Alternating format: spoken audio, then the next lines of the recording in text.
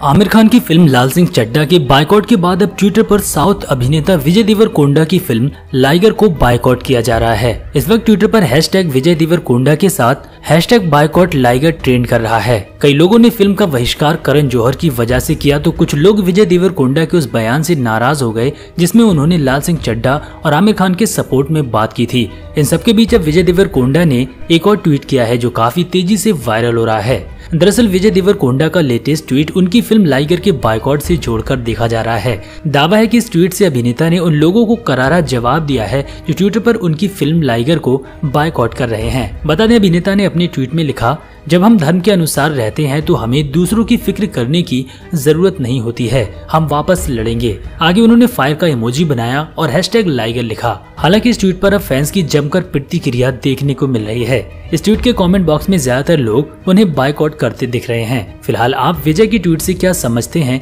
Comment box में हमें ज़रूर बताएँ। और वीडियो पसंद आया हो तो लाइक करें। इसी तरह की और वीडियोस के लिए चैनल को सब्सक्राइब करें।